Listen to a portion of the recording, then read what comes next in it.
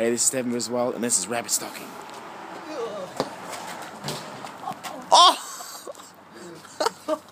God, it's my phone.